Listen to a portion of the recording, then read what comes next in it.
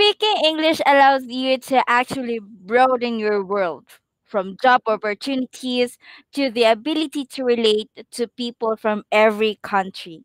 Knowing the language makes it much more interesting in every trip. Education is very important to improve yourself, but learning English also improves the quality of life. Hello, welcome to Native Camp. My name is Teacher Rosalie, and teaching is one of my passions. I too love teaching young and adult learners. And based on my experiences, I know that learning new language is very difficult. It is full of struggles.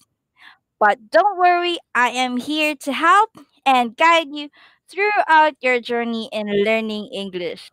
So come and see you in my class.